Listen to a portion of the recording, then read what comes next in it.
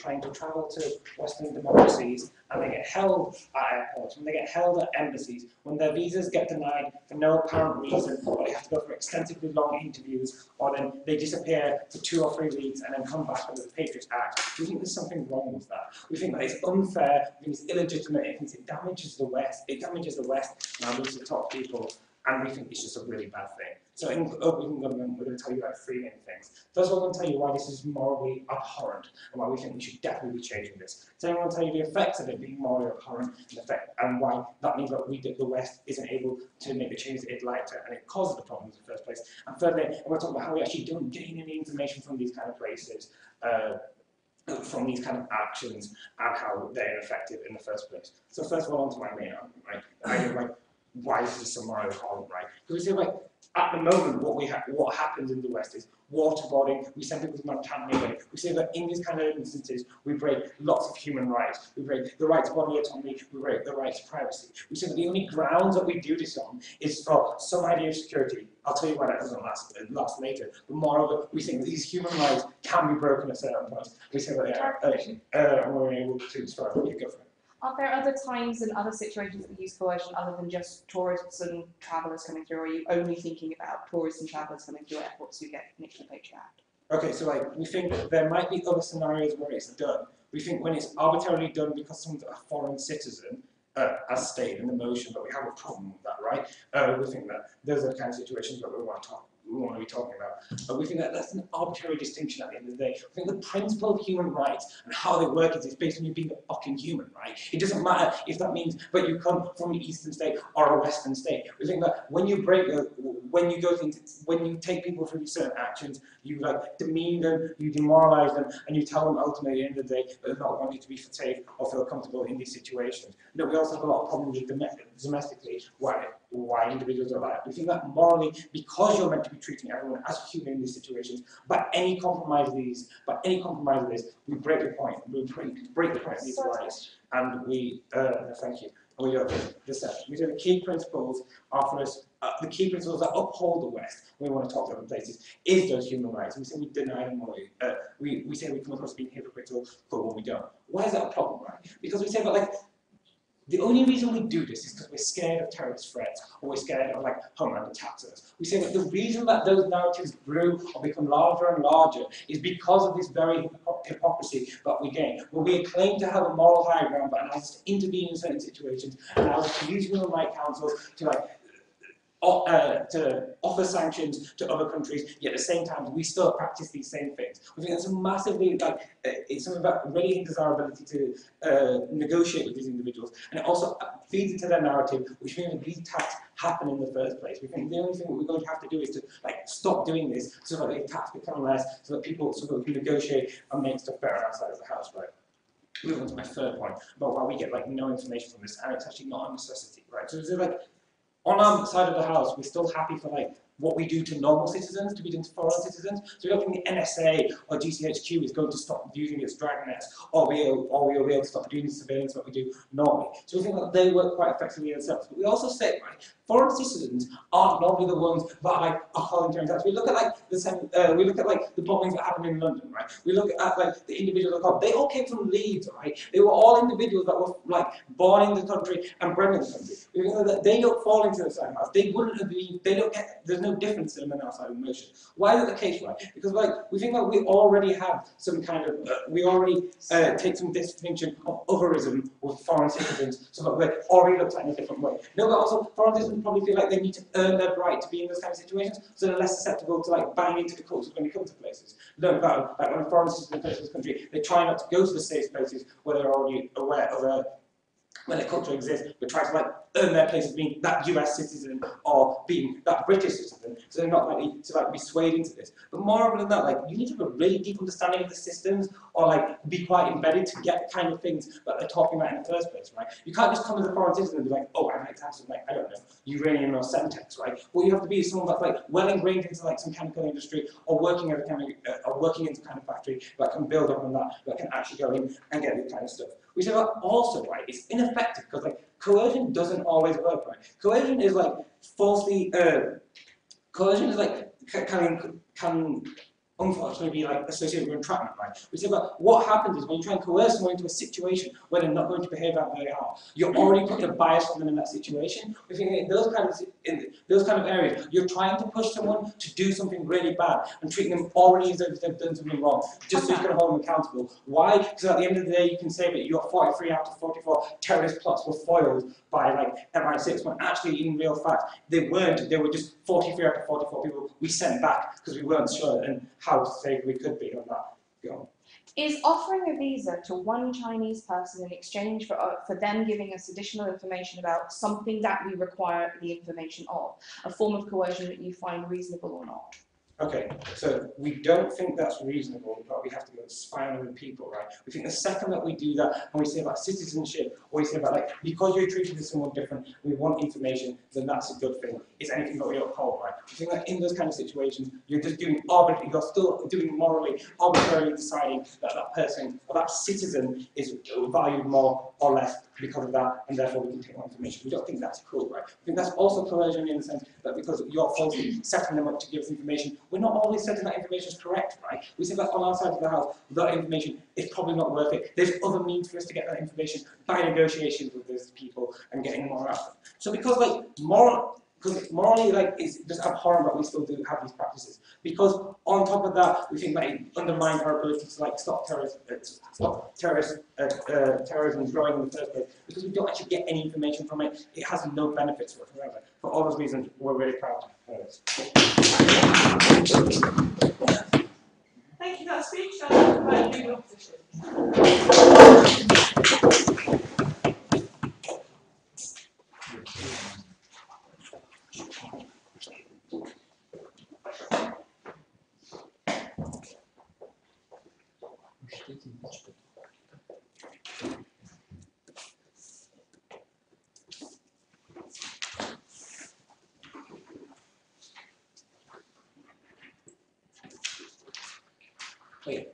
During my speech, I'm going to talk about the idea specifically why West talk about what's the idea of deception and spying, why we do it in the first place now, and then I'm going to talk about why the concept of foreign citizen does not change when it comes to dece- when it comes to spying, and why that's basically the same as we do with domestic uh, citizens. So the, the, the concept of foreign citizens is not as important as the proposition brought us. Before that, some points of rebuttal. So basically, what we heard from the proposition is that this is morally bad and the human right and the, the, the threat to the to the right of privacy. We say that also when it comes to spying, we also do it in the in the real world legally, right? So even when there's a necess- necessity, we still do it, and every everyone seems to agree that it's fine to spy once we have an outcome that we want to get, but it has to go through law. So the right of privacy actually is at some point breaking because for a greater good, and we say that not necessarily just because you're spying someone that's very bad, because once you see that the outcome saving lives or security issues, sometimes that's reasonable. And we, we haven't heard enough from the proposition to say as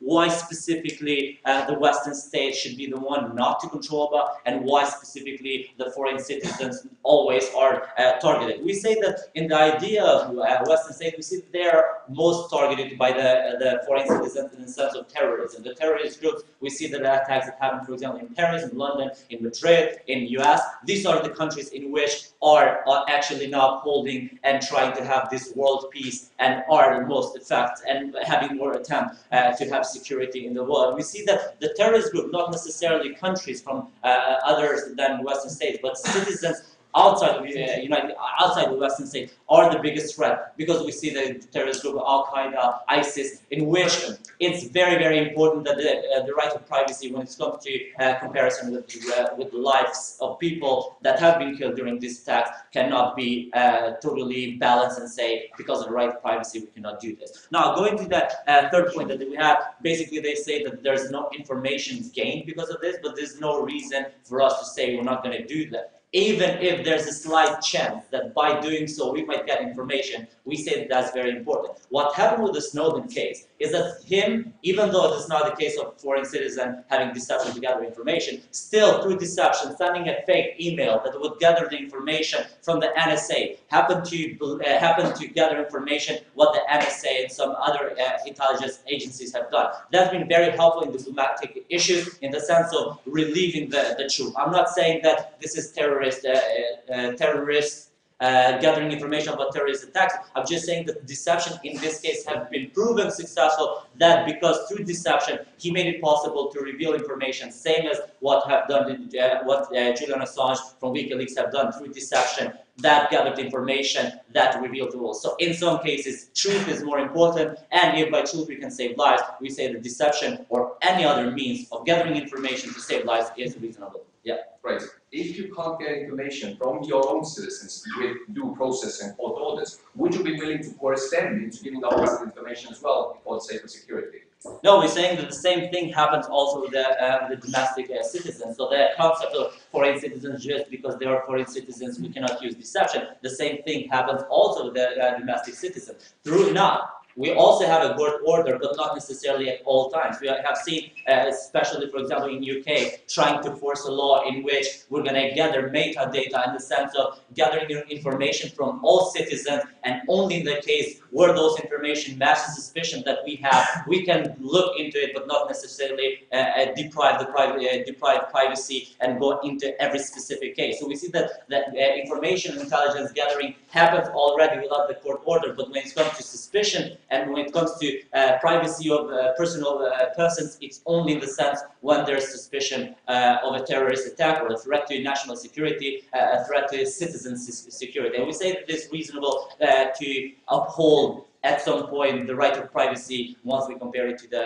uh, to the right of uh, to ensure security. So going to the idea of the why specifically Western State, as already mentioned, they are mainly targeted. I think they have a responsibility to maintain security, so not necessarily having the case, for example, uh, developing countries which are highly dependent on Western states. For example, in my case, it's Kosovo is like highly dependent from international uh, community. It is also international community in this in this sense, Western states to also ensure security because they've been part of the whole process of state building. And we say that even if we are foreign citizens, it's also their responsibility to ensure security. And if that means by deception or by coercion, then that's totally reasonable. Because they're mainly targeted from different terrorist groups from all over, all over the world, they are specifically targeted, therefore they can and it's reasonable uh, to, to do so. The idea of the deception and the intelligence also matters in the sense of saving lives. So we get the, uh, we get the example of, for example, 9-11, if we compare whether we would,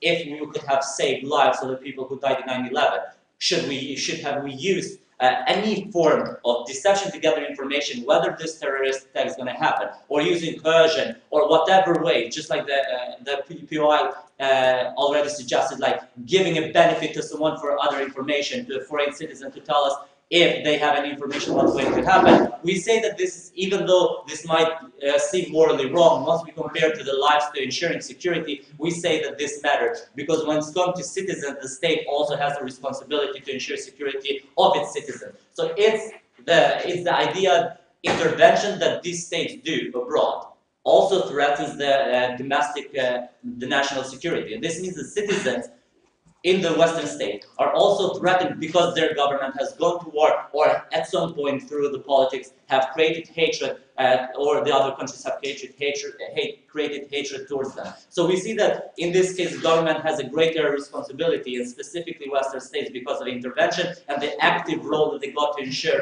or somehow to install uh, democracy. And the citizens deserve to have security, and if this, this means that the state should use deception or somehow coercion to gather information so they can pro uh, provide uh, security and share security for its citizens, we say it is totally uh, reasonable. The idea of globalization, the interconnection, interceptions uh, that happen now in the in the world is very important to have the sense that the foreign citizen concept that his sovereign is not our citizen has been diminished. Because a lot of traveling, a lot of connections between states, a lot of globalization, we say that even though you're a foreign citizen, it's still a potential threat, everyone to everyone. Therefore, we do not believe that the concept of foreign citizens should make any difference when it comes to gathering information, the same as you do when it comes to domestic uh, national uh, people. For these reasons, I get you vote. Thank you.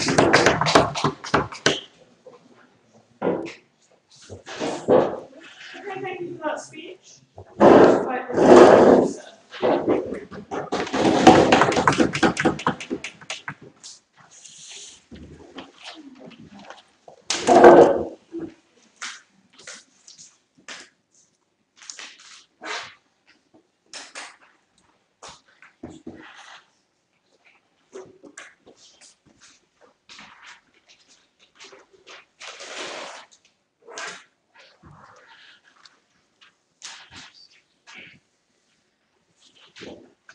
Right, let's- Right, so out of open opposition, what I seem to get from them is that they say that we should uh, deceive and coerce everyone, including our own citizens. Now, we just like to point out that that is like not something the most Western nation- nations should do.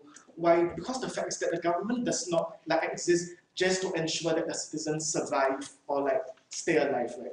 Most of them do believe that you have certain rights, certain civil rights, which are meant to make sure that you thrive in life and are able to like go through your life with minimum interference, right? We think that is something that's. So what I'm going to talk to you today is about the long-term harm this causes precisely because it is viewed as immoral, as Abdullah brought to you and it was completely unresponded from the opposition. Three points today. Firstly, why it is chasing shadows and extremely ineffective, right? Secondly, how do you stop attacks, i.e. you actually need the cooperation of foreign governments, which is extremely hard to get at the point at which you're like coercing and torturing their citizens. And thirdly, I'll talk about the rise of ISIS, which is like quite an important actor in this debate, and how this is directly fueling their government efforts, which is like damaging for like the Middle East as well as like the West, right? But before that, I have like some points of rebuttal. So what out of closing opposition, what we just got is a point of information about like offering some additional incentives, right? Firstly, giving someone an additional incentive and a longer visa is not coercion, i.e. coercion tends to imply some sort of like coercive force, i.e. you are forcing them and using like probably physical harm, i.e. you are trying to take away something from them in order to get information rather than give them stuff, right? But even I thinking they're pure at their best, they may have been talking about deception, right? And in this case, we do think it's, it's ineffective. Why? Because at the point at which of give, offering someone something, it increases the chance that they're going to lie in order to get it, right? We think that is just counterproductive at the point at which your so-called information may or may not even be correct, right? And you have no way of telling.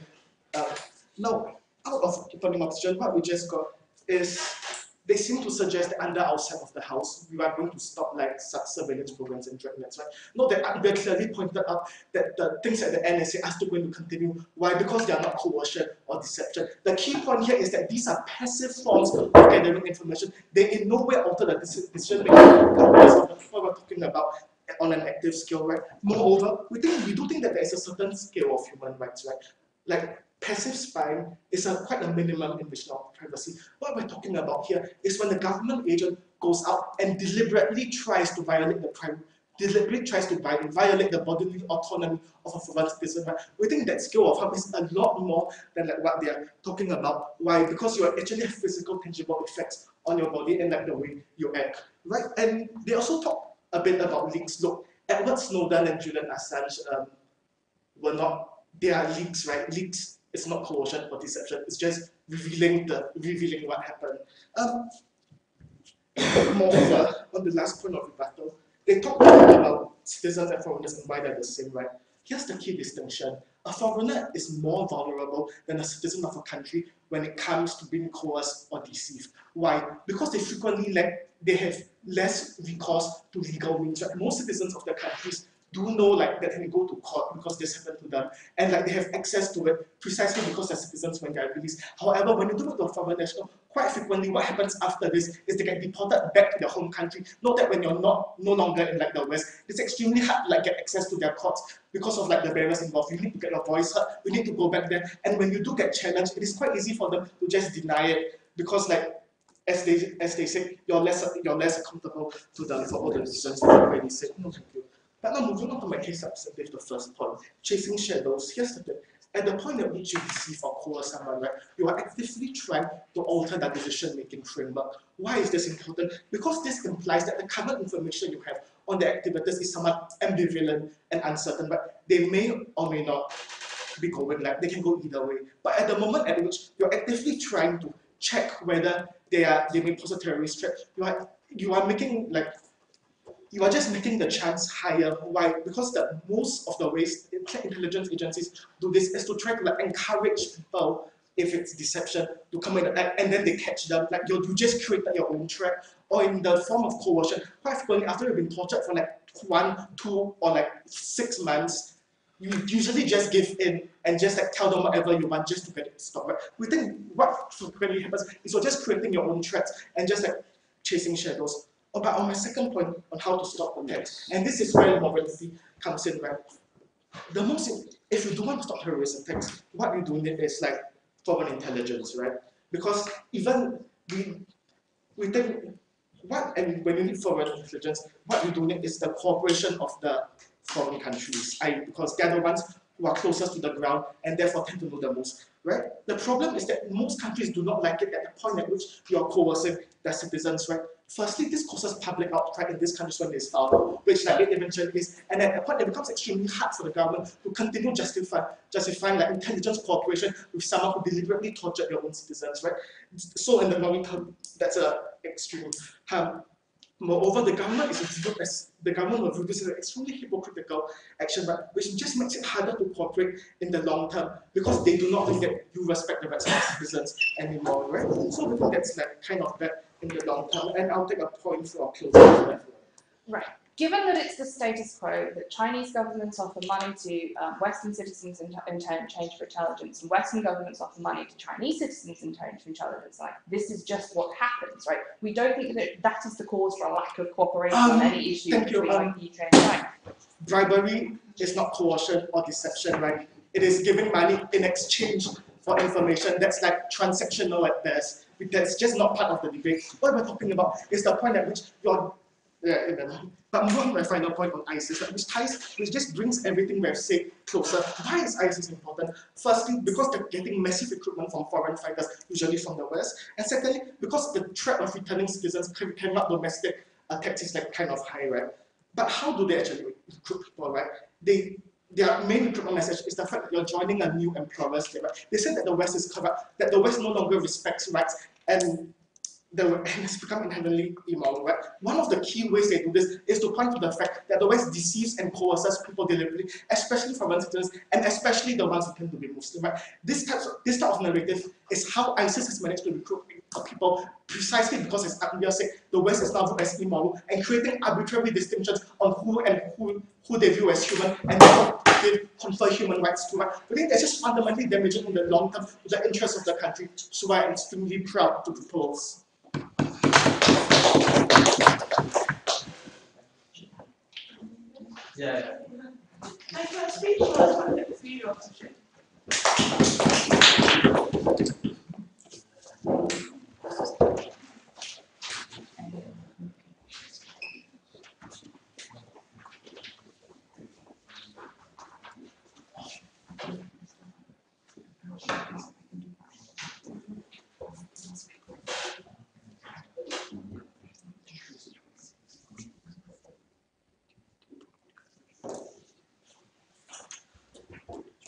Opposition? Sorry, uh, shall I start? Madam Speaker, uh, we had a case brought here by the opening government which kind of interacts within the arguments that they brought, and I'm going to make, I'm going to point out some flaws that they have within their, within their policy, within their motion, and explain to you that how some of the points that they brought here actually do not make sense. First of all, some points of answering. They have told us uh, during during the previous speech, we have heard that uh, we are going to get some long-term harms, and these har long-term harms from uh, from adopting from, by by uh, keeping the deception and coercion of foreign citizens, and these long-term harms are mostly the increase of hatred that happens within the countries of origin that these foreign citizens come from in the first place. So basically, what happens, eh, what what the government is trying to explain to us is is that by coercing foreign citizens and the information that come out of these coercions and these deceptions become globally worldwide available. And when countries of origin see the way that their foreign citizens are treated in these western countries then they, there is a public outcry in these countries therefore they get their hatred increased. Uh, basically this is a this is in, in, in contradiction with the point that they said before that which is when they were talking about the differences when they're they were talking about the, an answer to our point which is between the differences of foreign and local citizens and the way that they are treated. So basically, when they said that there is a difference between treating foreign and local uh, foreign and local citizens in the city in the first place, is that these uh, local citizens have a way of answering when some, something was done in the wrong way. They have a way of answering to the to the to the government. They have a way of suing these uh, uh, intelligence agency why these foreign citizens only go back to their countries and cry. First of all, this is not true and it is in contradiction with what they're, ta- what they're saying because they say that if something badly happens, then these information go worldwide and everyone and, to every one of them is available. And secondly, they said that because they are defenseless, uh, because they are defenseless in a form, then we have to do something. Uh, we have to keep uh, to keep them protected as, as a part of foreign citizens, which uh, also is something that uh, my, my- my partner explained to you before we, when, when he was explaining the fact that these foreign citizens will get some form of reward for their for their cooperation in this in these information gathering. So when it comes when it comes to idea of uh, of, of uh, hatred, which was one of the main points brought to you by the government, when they were talking about this, uh, when they were when, when they brought the example of ISIS and they said that the massive recruiters that they got is because they explain the hatred that happens uh, in the Western because the the way that the citizens are treated in the Western countries, they explain this chain the, this chain which actually uh, does, which when they they are, they are trying to explain because of the way that their citizens are treated in, in, in the in the countries. First of all, the idea why hatred exists within Western and, and, uh, Eastern countries is not because the way that their citizens are treated in the Western countries, is because of the way because first of all because of the intervention that happened in the Middle Eastern countries, and secondly because of the terrorist attacks that happen in these Western countries. My partner explained to you that how these Western countries are a target of terrorist attacks by these Middle Eastern by, by these Eastern countries. Therefore, they have an incentive towards this information gathering. They have a reason why they want to gather information in the first place from the citizens. So we do not have the need of forging some kind of trust with the with these foreign citizens in the first place when there is reason to believe that citizens coming from these foreign countries actually have incentives to hate the countries that they're going to. Before I move on to the next point, I'll take a away. Your case of citizen protection relies on the idea that the person you are coercing has vital information or is responsible for terrorism. Why can't you use legal means in your state to actually withdraw that information by telling him he has to uh, do it because there is reasonable doubt that he is involved Yes. in terrorism? Uh, first of all, there, there is there is a problem within that. Uh, the, the the idea that this information would, would first of all it would take much more time, and secondly, the idea that when you try to do it in a form of a legal way, you're you can you can make sure that there are a lot of uh, problems and obstacles in, in, in gathering these, these information, which I'm going to go through uh, a little bit later. So basically, when talking about the idea of, of the reason that why these Western Western countries try these techniques of deception and coercion in the first place is because they do it for the for the sake of security. And there is a clash of, of, of human rights, which was explained to you uh, by my by, by my partner, which is the idea of privacy versus security, which actually in this case uh, has a clash of a clash of human rights as well. When they were talking about that how humans have this body integrity and you cannot violate them by trying to deceive them through deceptions, through deception techniques in order to gather them information, we say that we do that these kind of deceptions in order to ensure that another human right is respected within the country that these techniques are happening in the first place, which is the right of the which is the which is because of security and uh, which which is because of security and because these uh, because these countries have a reason to, to use these techniques in the first place. So basically, what what happens when, when there is successful information gathering is that in this in this aspect, what uh, what the country assures is the, the much needed information in order to secure to secure that the national security of, of that country is being is actually being as uh, is being upheld in that country. And basically, when when citizens go through this info, when when when we use these citizens, foreign citizens, in order to get them information, they, they we kind of can use other forms of deception, which they kind of be, because the government didn't actually explain what coercion was in the first place. Then they try to come up here and say that uh, there are passive forms of information gathering, which NSA does, and secondly, they say that if you want to force, uh, if if if coercion in, in this case should not be something when you want to give them a form of reward, because in that case, uh, in that case, it's not direct deception, and they, they try to explain deception as a form of torture. While we believe, on the other hand, that any way, that any form of reward that you can give to a citizen, any form of reward that you can use in a way to deceive the citizen in order to give you the information, that is coercion, and therefore this information will be available to, to your country even through giving through giving rewards. We have a lot of examples, my partner explained to you that when you treat even foreign and local citizens in the same way, if when you are decepting a local citizen of your own country, and it happens that the citizen, you have abused some rights of the citizen, uh, maybe you have kept him in, in jail for a year, which was a mistake, then there are forms that the state rewards the people for whom their rights were violated with no reason. So basically we say that when we actually uh, abuse these foreign citizens in that way that we break their rights and nothing we, we gain nothing from them, there are forms of rewards for these people. Well, if we abuse these citizens and we actually get some very valuable information, then this means that the country has made the job of national security available. We believe that because there is, uh, because there is indeed and the, the state is held responsible if anything happens within the country, it has the right to violate the privacy of its citizens and foreign citizens coming to the country. Thank you. Thank you very much for that speech. I'd like to invite the member of government.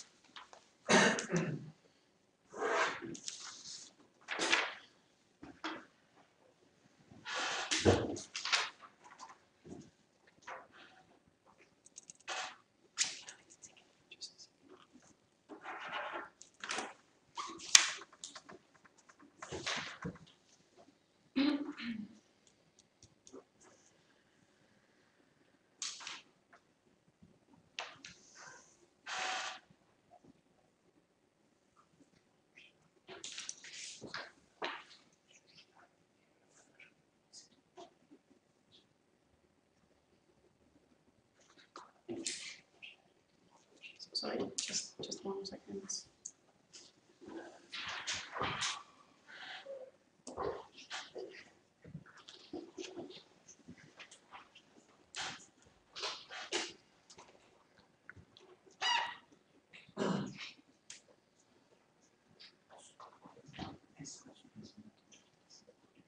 We want to be very clear about what we're speaking about. I'd like to just clarify that A, we think that we're not speaking about the cases of spying because we think that spying is a situation in which we like overall in massive in massive ways uh, spy on people. We don't think that we coerce them or deceive them.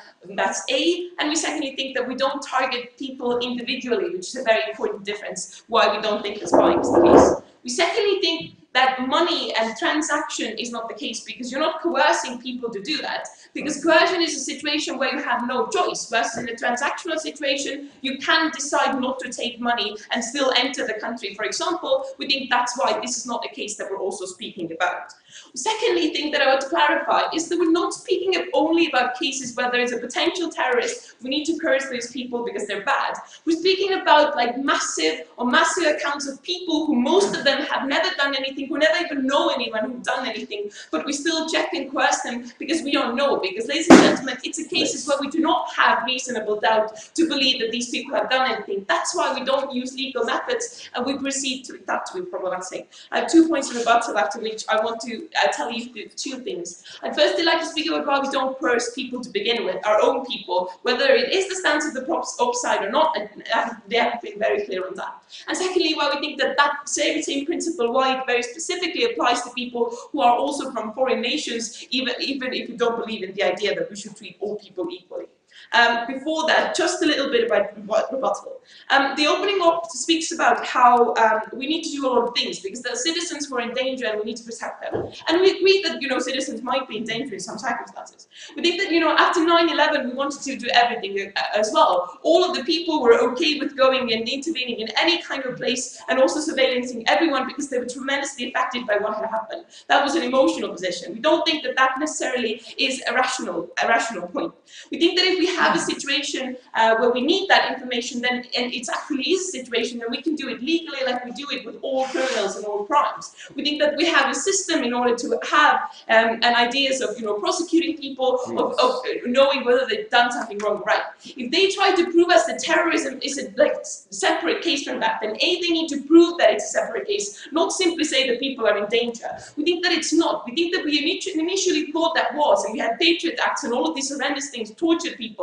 But we think that we, these things have changed, even the US have changed the Patriot Act to go further from those ideas, because we don't necessarily think that terrorism is different. We think that a lot of these choices were made by emotion. We don't actually think that it's different. We still need due process by that. And, and lastly, uh, when we asked the POI about why not do that legally, then they said that it would take longer and it's not that efficient. But why would you use coercion legally then? We still don't use it, even, even if they see the coercion as such an awesome method and it gives us so much efficiency. We don't do it, and that leads um, leads me to uh, my material about like um, oh sorry one point about before that sorry. Um, they speak about how uh, people will get rewards and that's fine like even if we like they counteract with the whole idea of how these people get harmed and then they get rewards. We don't really like think that it's still fair. We give rewards to people who have wrongly prosecuted for 20 years in prison. The only reason why we give rewards is that we cannot really give those 20 years back. That does not mean that it's in, in any way proportional to what these people have lost. The same with coercion people who cannot enter the country need to leave their families etc etc now my material. Um, so firstly, um, let's look at why we overall don't coerce people, our own citizens or people like generally, why we think coercion is a wrong idea and deception as well. We think that we ultimately have a due process and we, are, we acknowledge that there are people and we acknowledge that situations where we need to counteract, but we have a process that we've figured out in order to do so. Why that is so, in order to um, grant people with the rights but also their protection. We think that like why the reason why we don't have police states and cameras in every home and why we don't press every people, every person into doing things is because we generally take the principle that people are good and have not done anything wrong. That's why we don't go to people on the street and make them tell us everything because if we would do that then that would violate their rights too much and most people like even like statistically have not done anything and that would not be proportional to that. We think that like the due process gives us a two points of proportionality which is important. Either point of proportionality about the ground, in the sense that you need to have some kind of reason why you would uh, why you would make people in a bad situation. We think that we're speaking in this debate about cases where we don't actually have them. The massive amounts of people who are being coerced or deceived simply because of the fact where they come from is not a ground enough for them to be subjected to a situation out of due process. Second part of proportionality comes from the idea of what we inflict to these people and what they've done to do so. A, we think that they haven't done anything, so it already seem proportional. But furthermore, we inflict them the very clear harms. We put them in a situation where they, for example, have to sell out their family, sell out their friends, or not be allowed to a country where, for example, their daughter is in. I think that's a situation where you have very tangible harms for doing absolutely nothing but being from a certain country. So we think the coercion into that reason is wrong. Second reason why we think that we don't need, for example, in our states, we have most states have the idea that you are not you're not uh, obliged to, to uh, testify against your wife or husband, for example. We do that because it's also a situation of two very bad choices. Why we protect these people in these situations is because they haven't chosen to be in those situations to begin with. These people are mostly innocent and cannot do anything and are in this bad situation. That's why we don't make them do stuff like that. And that's why we don't coerce people and deceive them because they are not to be blamed. Um, go. We also prosecute the wife for complicity in, say, mob crimes of her husband, or offer her witness protection if she Yeah. chooses to testify against him. That's a form of coercion. Thank you. We offer them witness protection if they choose themselves to testify. That's fine. And we, we prosecute them if they know about stuff and haven't like done crimes in some circumstances. But ultimately, we think that we allow them the situation of not choosing to like wreck your whole life. We think that's important. Now, while we necessarily, uh, we think that we don't really do all of these things to foreigners because we think that people are equal and we shouldn't subject them to different things. But two very important reasons why we don't do that necessarily as well. We think that if these people enter our territory, then these people are subjected to all the laws that apply to us. But all of the laws and obligations correspond to specific rights. The specific rights which are different and the balance of how we grant rights and obligations different in all states, but it creates the idea of a perfect life where you can like be secure but also have liberties. We deny these people with that principle because we take away their rights because they don't really get them anymore. However, they still need to have the obligations, which means that they cannot have a humane and worthy life in our state. And lastly, we think that overall, if we do these things to our states, then ultimately these other states will do them to our people. So ultimately, by not coercing and deceiving people, we're actually protecting our own citizens. That's a good idea as well. Both. Thank you. Thank you very much to welcome Roxy.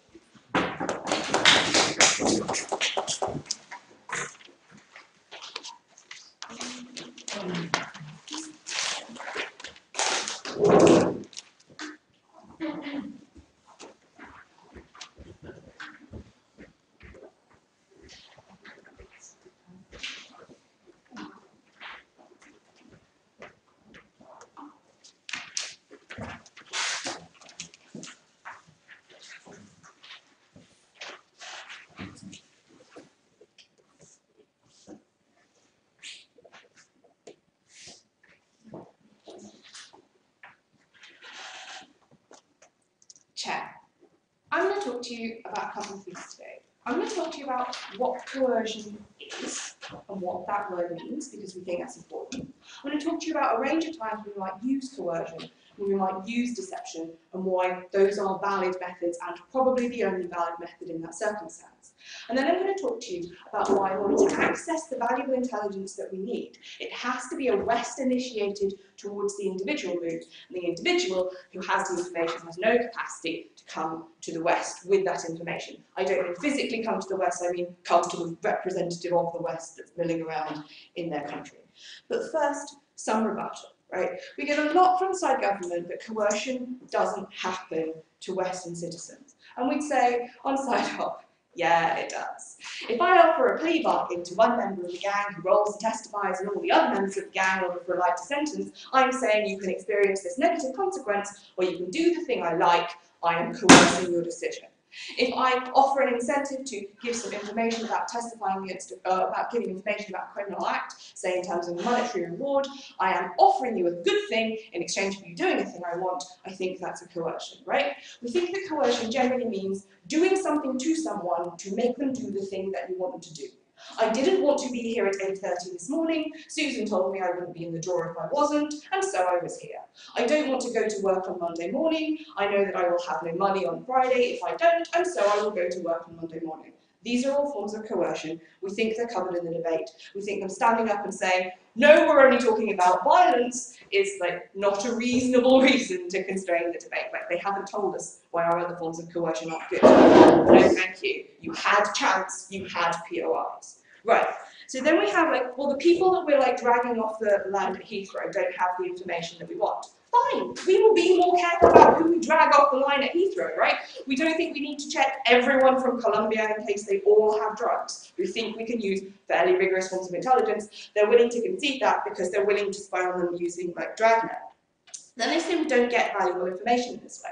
And at that point we say, well, let's think of the value of human intelligence. And at this point I'd like to draw your attention to the war on drugs. Because the manufacturing process of drugs, say marijuana in South Africa and Botswana, or uh, ecstasy through um, Ecuador and Mexico, like that's not on an email trail. that's not electronic. That's where in this specific bit of forest is that particular factory right now. Only local people know. Local people have a massive incentive to not tell the Mexican or Ecuadorian or South African government where those particular farms and factories are. If we offer them A, protection in terms of future security, a form of coercion, B, protection for their family, C, relocation to the West, and D, like extra money. We think that they are more willing to come forward and like tell us things that we need to know in order to protect our citizens, no thank you, from the direct harm of taking cannabis or ecstasy that makes them become very unwell, dead, or just like not happy, right? We think that happens, go.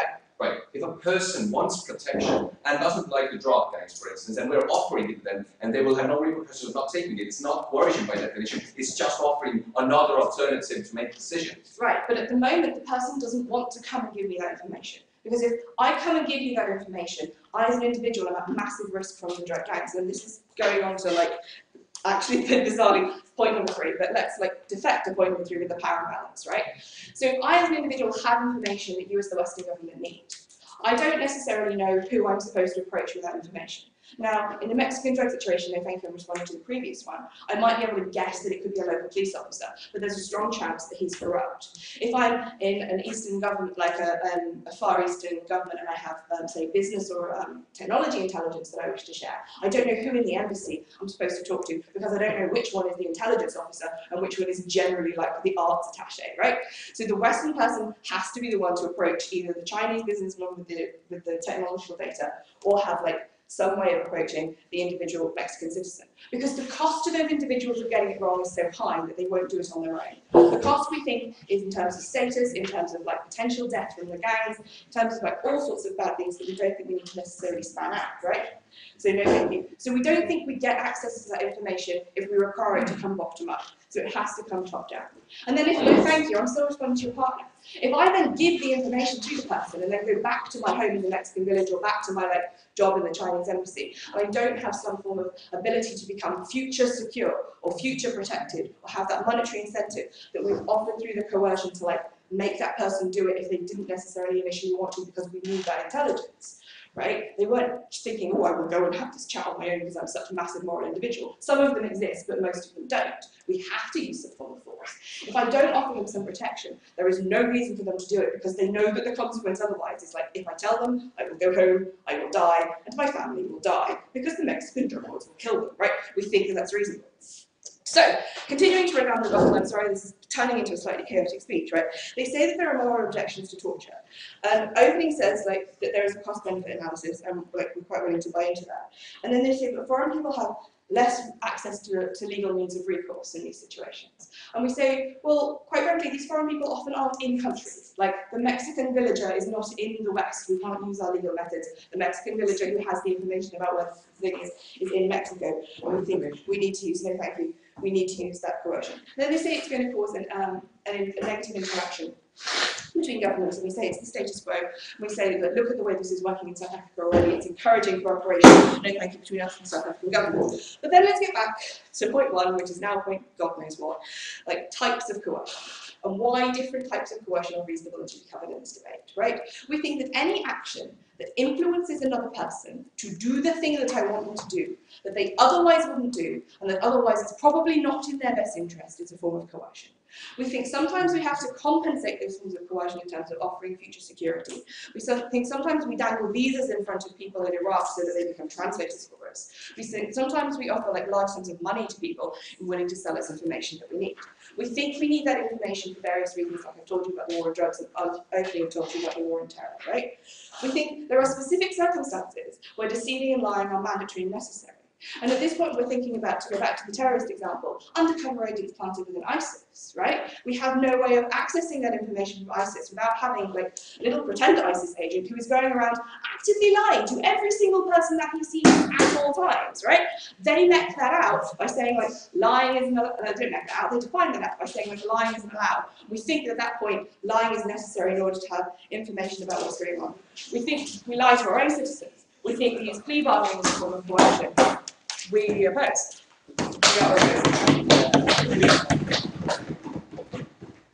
Thank you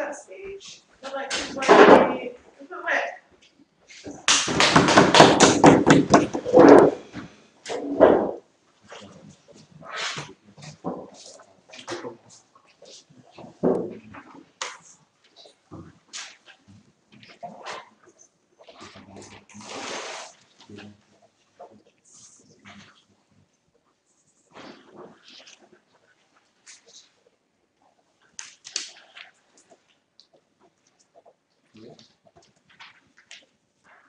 Ladies and gentlemen, I'm going to do four things in my speech, which summarizes the debate and show you where second government taking. Firstly, I'm going to talk about terminology. I'm going to define coercion, distinguish it from infiltration, bargaining, and all these other phenomena that the second opposition talks about, and then go into the crucial questions. Firstly, is this necessary and is this proportional? Something that Christian told about in the second opposition never responded to. Secondly, I will discuss whether it's fair, and thirdly, whether it's harmful. Does it bring more benefits in the, under the criteria of human rights being protected or not? But firstly, let's get into the definition part. Firstly, they say that we already use coercion on our people, bringing an example that if I am a drug lord, for instance, they can plea bargain with me to give out other drug uh, cartel members. Now, distinguished in, uh, uh, ladies and gentlemen, that this is legitimate coercion for a very specific reason.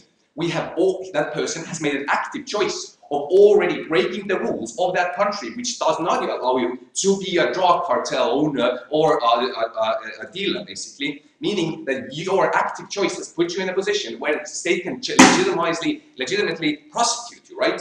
So in that position, it's completely legit for the state to give you also another bad option, for instance, give out other members but receive a lesser sentence. Notice, and the importance of this is that which either one of the bad choices is legitimate because of active actions, and that is not the case, for instance, if I just happen to randomly be born in a Middle Eastern country that has been stigmatized by your random Western states foreign policy for a decade, and then I just want to travel to see my family in the United States because I finally got enough money to go there, and then I'm uh, not allowed on the basis of my random birth. That is not equal.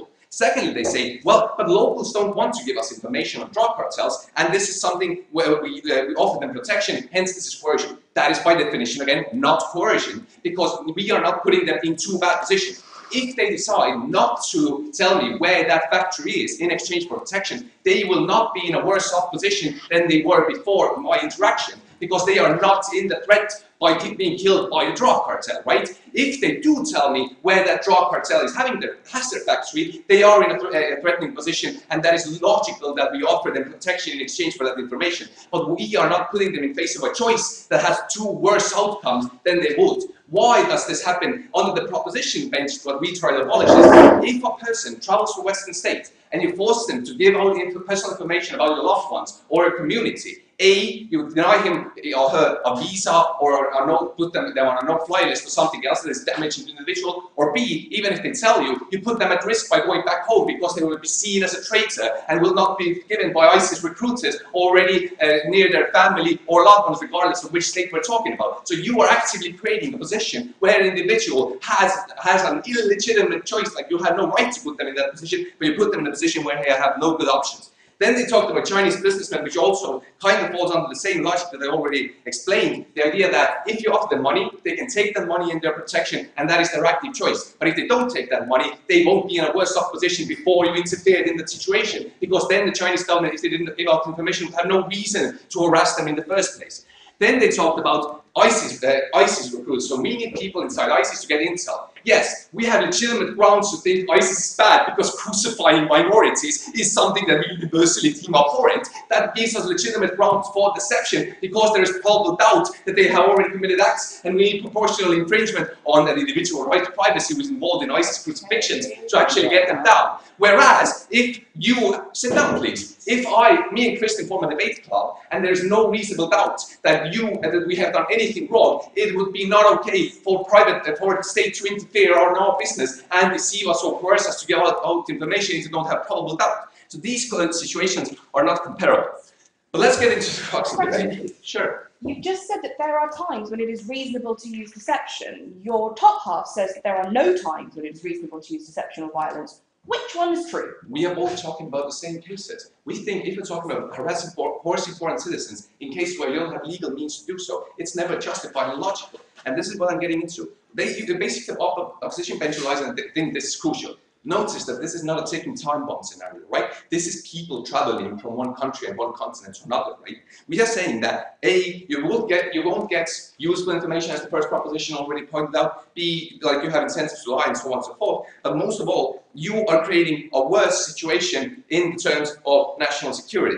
Now, why is that? It's basically because you are doing something unfair to them, and that is creating a moral precedent. Although the opposition wants to talk about foreign citizens per se, we are also more and more cracking down on people who are citizens of the Western countries, both ethnicities or foreign ethnicities, right? Why is that so? It's very easy because you create a moral precedent. The more people feel that threat, and they are increasingly feeling that threat because we demonize terrorism and blow it up as a big thing, right? They are able to then mediate between moral absolutes. If you have a very strict idea and moral grounds on your state that you will never infringe individual rights. That hard line is much harder to bend when, uh, uh, in comparison to situations where you have had precedents that in cases of some arbitrary security, whether it's liberty cases, on basing or, or basing on ethnicity, it's okay to then we create a precedent in which you can uh, attack personal rights. This is the dis- disproportionate infringement on two grounds that Kristen told you. This is on the grounds that you have an assumption to infringe and they have never proven to us why a person who is of certain ethnicity and traveling to see their family, whether it's in the Middle East or at the United States,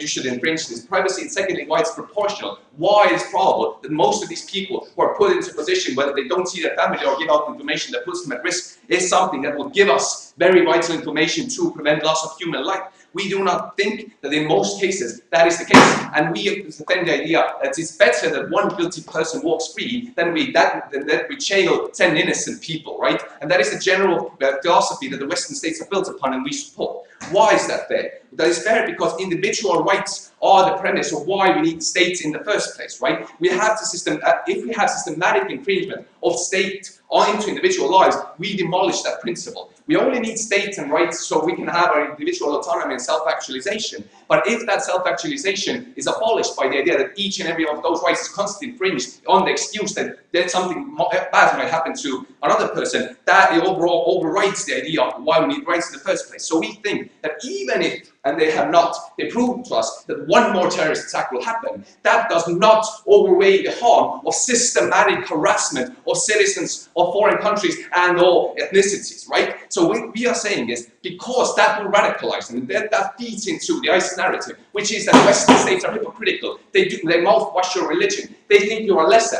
meaning that if that person even before wasn't radical, now if they see that is true and is denied access to his or her family or homeland, they are much more likely to take up the ISIS flag and fight the state that has done this personal infringement and disobeyed his or her wishes. Please propose. Thank you for that speech. I'd like to move on to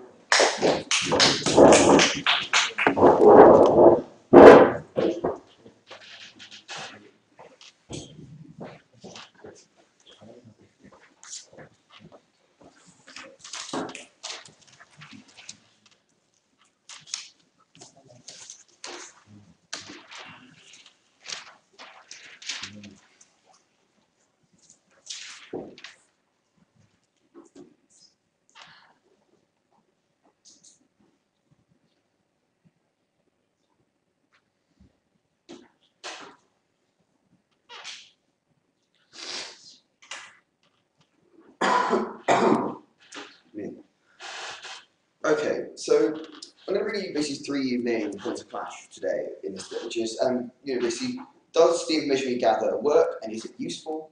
Why is coercion sometimes necessary and why is it effective? And why is deception sometimes needed and why is it effective?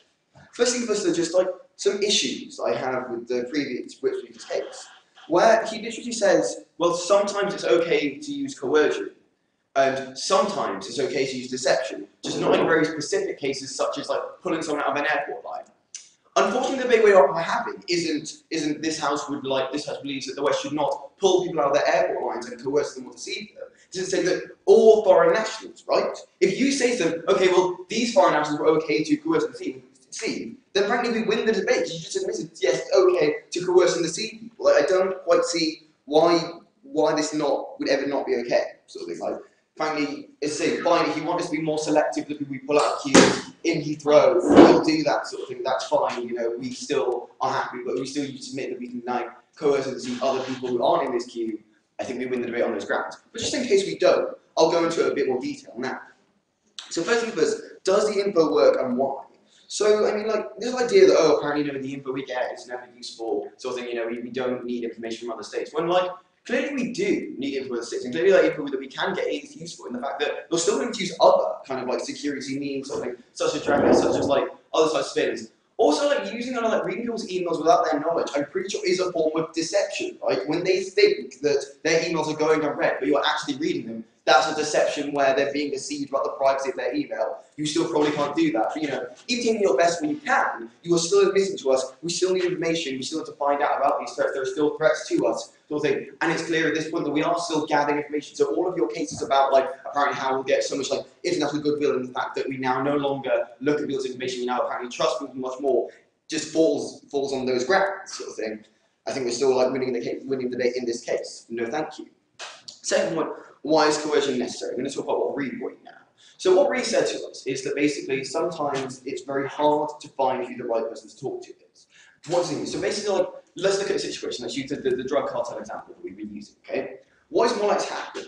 What is more likely to get us information? Us going out to members of drug cartels and saying to them, right, if you tell us information about like your hires from your organization, if you give us information about all these things that we could not normally get, no thank you, sort of thing, we will, you know, like make sure that your family is protected from ramifications. We will like kind of set you up in like a nice part of America where you're safe and give you give you like basically a, a visa to live there. We'll, like basically make sure, make it worth your while to give us this information, give us this information helpful. Is this more is it more like to get to get information from that, or us just waiting around, kicking our heels, and expecting magically some person in a drug cartel out getting like relatively high amounts of money and they're probably still maybe concerned about the danger they're but ultimately isn't like is kind of like things to suddenly have a crisis and can't just go, you know what? I'm gonna risk imprisonment. I'm gonna risk being killed by gangs. I'm gonna risk uh, like I'm gonna risk like corrupt policemen catching me. I'm gonna like risk all of these things and try and hunt down exactly the right person in the organisation to go and talk to and ask and like ask and offer my help to them. And then like you know, and then but then but then like it's, it's been told to us and it's been made very well known that apparently you know the West doesn't use coercible deception, so it's unlikely I'm actually going to get any reward, necessarily going to be saved. But you know, I'm still definitely going to come forward at that point and tell them information. Strange enough, I can't see this happening. I'll take opening and to tell me why. Okay, so the negotiation you talk about, first of all, isn't coercion and deception. But more than that, why is why are we unable to provide safe spaces for individuals to talk about, such as like the visa interview room on our side of the house, so that we can have these discussions with the correct officials? I mean, I'm- I'm sorry, like, throughout this debate, you kind of keep saying to us, oh, you know, it's not coercion. You've never fully explained why it's not coercion. You've never, like, you kind of said, oh, well, it's a transaction. Oh, well, you know, it's bribery sort of thing. Like, we explained to you many times. We've given you many examples. We've literally given you the definition of coercion. That's what did in her speech, saying that coercion is when you are, when you are given incentive to do something that you would not normally do, sort of thing. Frankly, just kind of saying, just repeating to us saying, well, it's not coercion and not, it's not engagement. It's just basically you going, just you just start trying to ignore our material that we're giving you. That's not how debating works. And thank you. Okay. Third point, deception is used as something that like has not been talked about that much in this debate until Reed came in and something that is still very important. So, Reed told you that when we have like these things like ISIS, when we have like these organizations in other countries that unfortunately we don't know much about, like actually don't use like many kind of like um, digital medias or use the internet to, to transfer information because frankly it's quite stupid because obviously you're not going to get much information. So we can't get the information that apparently we get and that's our house with their and stuff. Generally what we want to do is put in an undercover operative or put in someone who can like talk to them and try and get information from those people without their knowledge. It becomes far harder to do that when we are suddenly not allowed to use deception and operatives, first thing they have to do, rather than kind of, you know, trying to get themselves ingrained into the system, try and like go through, try and talk to people, try and like make contact within that, because like they have to, dis- and unfortunately, yes, deceive them in not immediately telling them who they are and why they're there. Suddenly that becomes a lot harder when their first action now has to be, oh, I'm an American operative, I'm trying to get information about ISIS. Strangely enough, I don't think that many people are willing to talk to them, strangely. And so what then happens? Well, what then happens is that we don't get information. We can't like get any information about like things like ISIS, which I think like is probably going to cause a lot of people to die. And like when we can't get information about how to deal with it and how to like kind of like challenge ISIS, and even like to get information to give to other groups who like are going to be innocent parties and possibly you know if you know ISIS are moving into a certain place and you can get information to that place and try and get people to you know make themselves safer, that's probably a good thing. No, thank you, sort of But even then, like, you know, just getting information that's even personal just to your country. When you want to get information about future terrorist attacks that could save many lives, frankly, we think this is a good thing that you can get on outside the house by, unfortunately, yes, deceiving a few people who are part of a pretty horrific organisation, like sad times, but ultimately we believe that them like being a bit deceived and being a bit silly because you know the American tricked them is a bit better than having to explain to hundreds and hundreds of people why their families have now been killed, why lots of people are now dead, why you know ISIS is still going on. We still know nothing more about it, just because we're not willing to deceive people. You know, so as I said, down our entire side of the house, we've given you examples where coercion and where deception are useful. We explain what we mean by coercion and deception. We explain why the why the proposition just kind of like saying to us that's not coercion isn't true. That we explain why it is coercion. We explain basically government have told us that there is one, they even told us there are specific situations where using coercion and deception are okay. Uh, I outlined those to you. frankly, I think on all of those grounds, we we have to win the debate because ultimately, the government have not told us why it is effective to not use coercion and deception.